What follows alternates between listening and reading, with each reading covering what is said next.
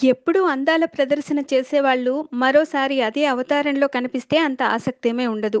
కానీ ఎప్పుడూ కొంచెం పద్ధతిగా కనిపించేవాళ్ళు గ్లామర్ విందు చేస్తేనే అందరి కళ్ళు వారిపై పడతాయి. నిన్న సౌత్ ఫిలింఫేర్ అవార్డుల సందర్భంగా చాలామంది హీరోయిన్లు ఓ రేంజ్‌లో రెడీ అయి వచ్చారు. అయితే వాళ్ళల్లో కుర్రకారు దృష్టిని బాగా ఆకర్షించింది మాత్రం లావణ్య త్రిపాఠి, రాశి ఖన్నాలే.